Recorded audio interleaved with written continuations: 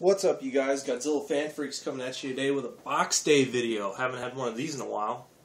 And uh, this box day is a um, late Christmas gift from one of my friends. And boy, did he get me some cool stuff. Yes, I already opened it because when he came over, I had to open it. It was a Christmas gift, and he wanted to see my reaction. And uh, boy, it's awesome. And uh, so, let's get on to it. First thing that he got me was my favorite Ray Harryhausen film, 20 Million Miles to Earth. Uh, that's awesome. And uh, watched it last night, actually.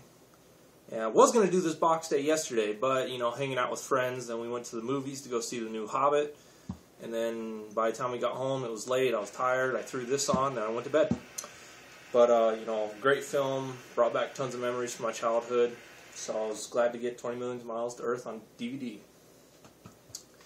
And the next thing he got me is uh, also from 20 Million Miles to Earth. It's the uh, X Plus from the uh, X Plus America line. I believe this is from the X Plus America line. It is from X Plus for sure. Right down there in the corner. Hopefully that's getting in the shot. X Plus. There's the logo. Hopefully I got in the shot. but um, it's the uh, cold cast uh, resin uh, Ymir on the lab table. And uh, that's going to be a cool piece to have on my shelf. Very happy to get this. This is just awesome.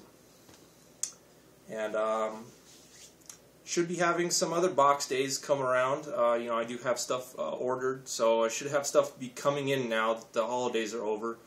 I know that you know some of my package I thought they would have uh, some of my packages I thought they would have been here by now, but um, they're not because of the holidays, so hopefully now that the holidays are over, I'll start getting the stuff in that I've had ordered since like November.